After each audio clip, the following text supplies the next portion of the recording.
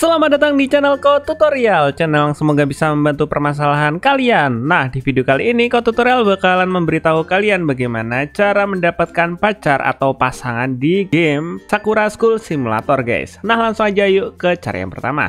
Cara yang pertama kalian harus klik tombol subscribe yang ada di bawah video ini yang warnanya merah. Nah, setelah itu kalian buka game Sakura School Simulatornya. Setelah kalian buka game Sakura School Simulatornya, kalian pilih new game atau kalian bisa pilih load game untuk meload game yang udah kalian pernah mainin. Nah, di sini kok tutorial bakalan new game aja ya.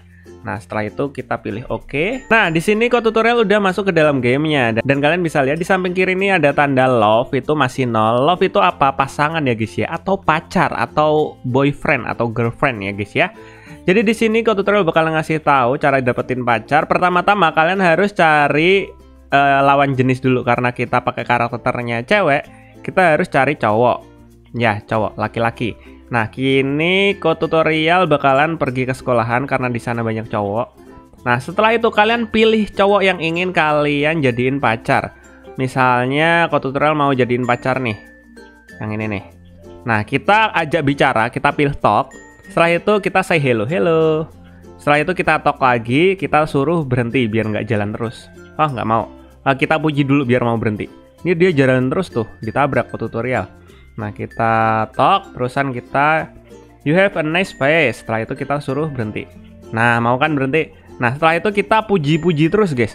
Kita talk, talk lagi, terus kita pilih you have good taste, talk lagi, talk lagi, sampai dia menjadi teman kita. Tandanya udah menjadi teman, nanti di samping kiri sini akan ada tanda plus satu atau tanda satu di bagian orang yang dua ini. Nah, ini kita uh, apa namanya talk terus, kita ngomong terus.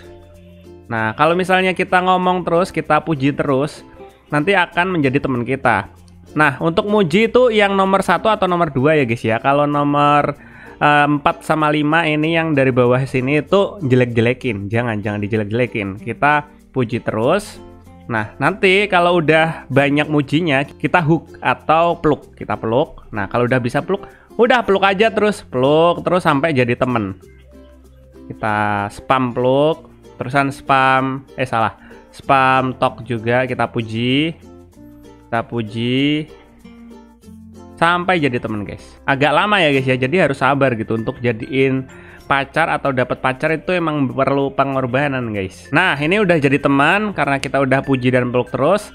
Nah setelah itu kita lakuin hal yang sama, kita peluk terus, kita peluk, kita spam peluk, spam peluk, spam peluk, spam peluk, spam peluk, spam peluk, spam peluk. Uh, sekali-sekali puji nggak apa-apa. Spam peluk, spam peluk.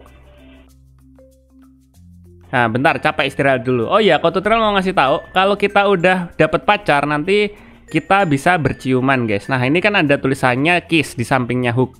Nah ini kan nggak bisa cium. Nah harus bisa cium itu kalau kita udah jadi pacar. Jadi kita harus hak terus, kita harus peluk sama puji terus sampai nah sampai kayak gini udah ada hatinya atau cintanya di samping sini. Nah kalau udah ada cintanya atau hatinya di samping sini itu tandanya cowok ini, ini cowok nih bentar. Cowok ini udah jadi pacar kita guys. Nah kalau udah bisa jadi pacar kita, kita bisa uh, peluk, eh peluk, cium guys. Nah, kita bisa cium. Eh, salah, nggak boleh di zoom. Nah, kita bisa cium dengan pilih kiss. Kayak gini tuh. Sensor guys, nggak boleh ditonton kalau kalian masih kecil. Nah, mungkin seperti itu aja guys videonya ke tutorial kali ini. Jika kalian ada pertanyaan atau ingin request tentang video tutorial lainnya, kalian bisa komentar di bagian bawah video ini. Semoga video ini dapat membantu kalian. See you di next video.